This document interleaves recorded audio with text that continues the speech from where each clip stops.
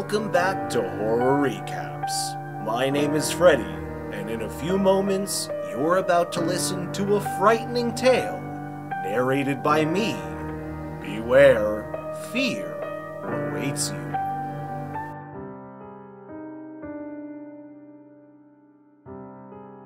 This thriller begins on a rainy evening when we see a senile old man in a wheelchair.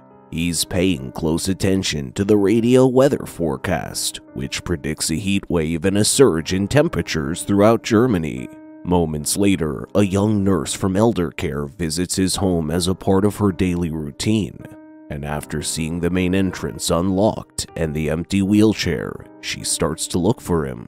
Not long after, the old man appears behind her and strikes the nurse with an oxygen cylinder. He then continues to slam her repeatedly until she finally dies. After that, he goes to his window and screams aggressively to let his anguish out. In the next scene, we see a family consisting of a mother named Ella, her son Noah, and her daughter Laura. The three are going to Ella's hometown to attend the wedding of her sister, Sanna. Noah then expresses his eagerness to visit his estranged grandfather and his father who is separated from his mother. Elsewhere, we see Ella's ex-husband Lucas bidding his girlfriend Kim goodbye. She works at a retirement home in their town and is summoned to duty. Soon after, Ella and her children arrive at their family house and are greeted by Sanna and her fiancé Malik.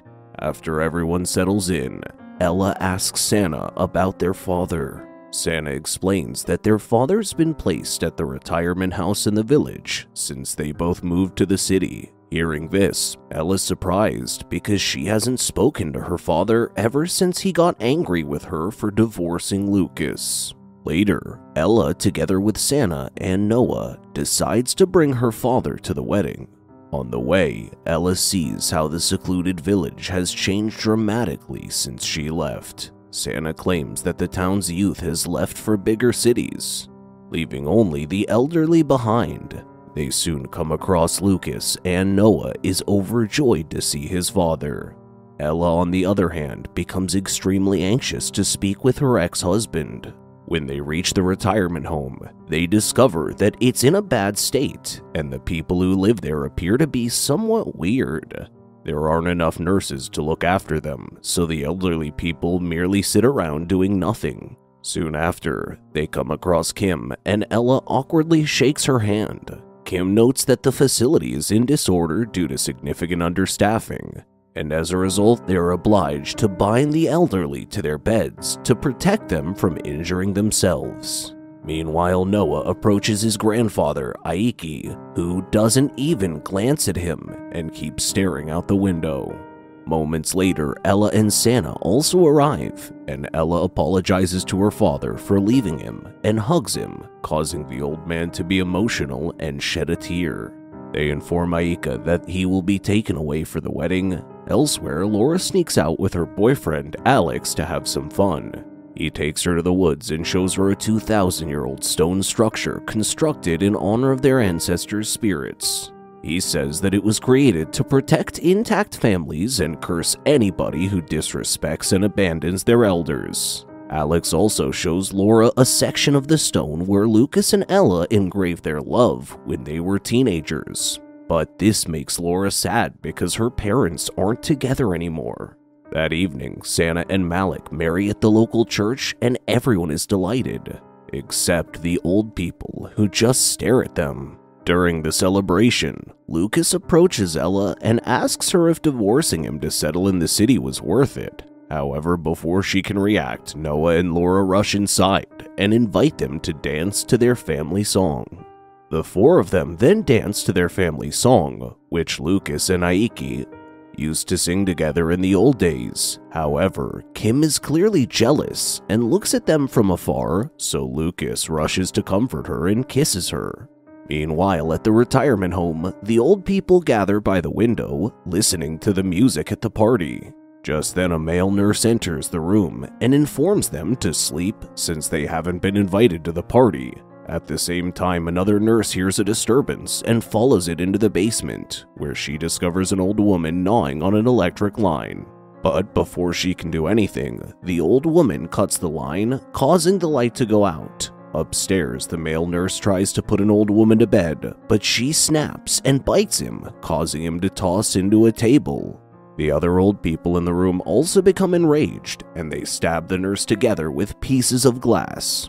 Just then, the nurse from the basement arrives and tries to summon help, but a weird elderly man knocks her unconscious. The man reads the wedding invitation that Sanna brought earlier, and they rush toward the event, murdering everyone they come across. Back at home, the party is ended and it begins to rain heavily, so the guests leave one by one. Later, Ella tucks Noah into bed and he tells her that the best part of the night was dancing as a family. At the same time, the newlyweds go to the nearby cabin where Malik has planned a romantic night for them.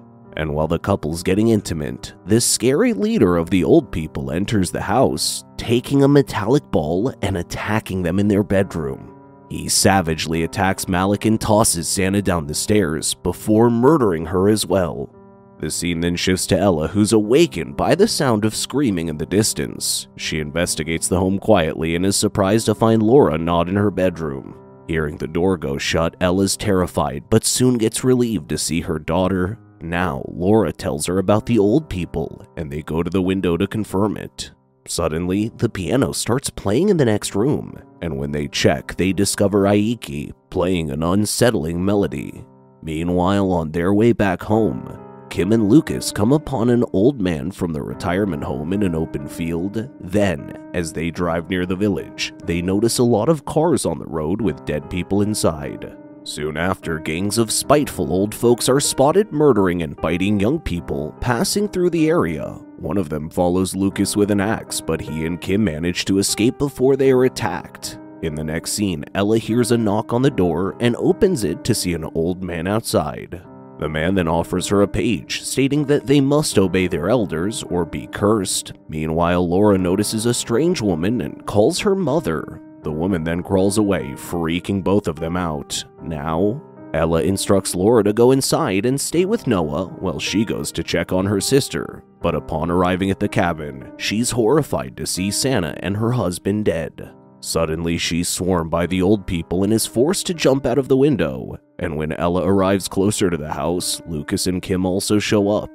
Immediately, Ella starts crying out of fear and panic, but they are compelled to go inside as they witness a swarm of old people approaching them. Laura quickly allows them in, but they are unable to find Noah and Aiki. Due to Noah being missing, Ella becomes enraged and takes her father's gun to confront the old people. Despite Lucas's disapproval, she's determined to find her son. However, as soon as she walks outside, she encounters old people wielding torches and weapons. This does not deter her, so she aims a gun at a random old guy and demands to know where her son is. Just then, Ella notices Aiki among them and asks where her son is, and when he does not respond, Ella tackles him to the ground. Lucas, on the other hand, holds her back and forces her to return to the home.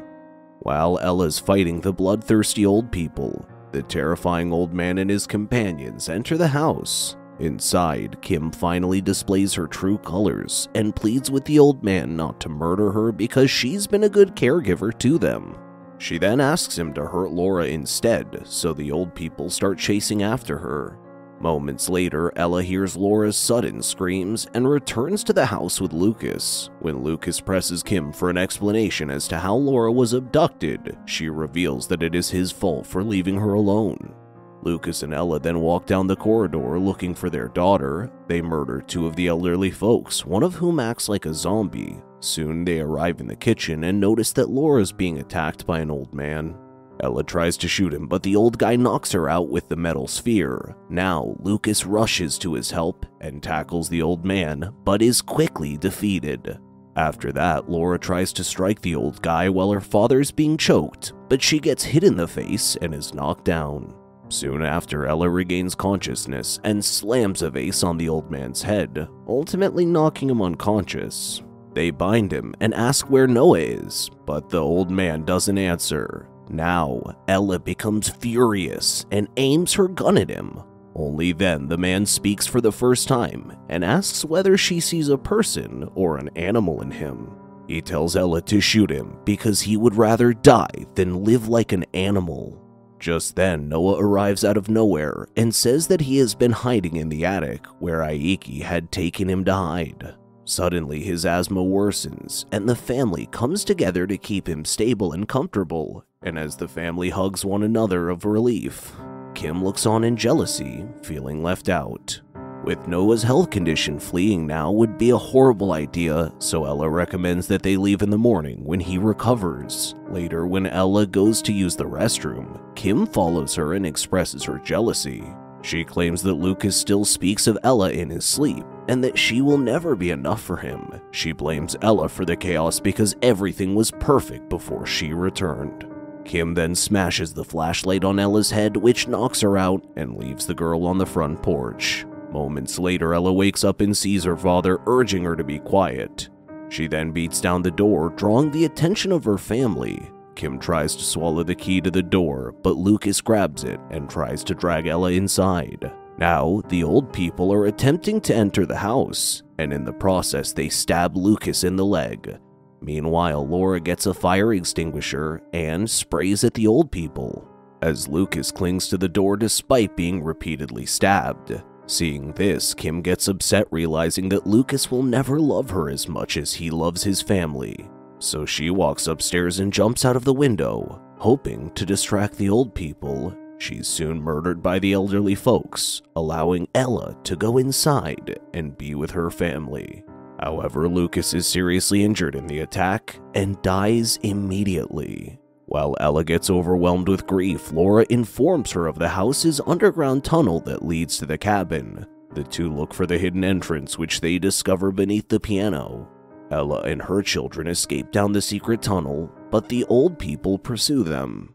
Soon after, Ella gets caught by the killers and advises her children to carry on without her. By the time Noah and Laura exit the tunnel and into the cabin, the morning light has already broken. Laura's phone starts buzzing with new messages of breakouts of hostile old folks around the country, followed by missed calls from Alex. She quickly contacts Alex back and he urges Laura to meet him at the beach as soon as possible, since they need to get out of there.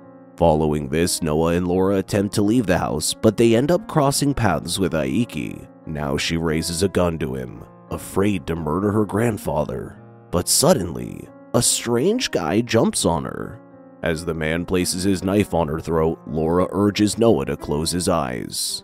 Accepting her death, she begins singing their family song, and Noah joins her, while Aiki watches with tears in his eyes. Just then, we see the man trembling as he tries to keep the knife in his grip. In the end, Aiki steps in and shoots the old man, protecting his grandkids. Even though he just saved the kids, Noah and Laura calmly take the gun from his grip, possibly to avoid further bloodshed. Then, Noah asks whether he'll hurt them, but surprisingly, Aiki replies he can never hurt them because he loves them. The three then rush to the shore where Alex awaits them in his boat, but he decides to trust him anyways, and as the four depart on the boat, they notice vast swarms of zombie like old folks gathering on the beach. Make sure to subscribe and turn on notifications so you can watch more videos like this. Thank you for watching.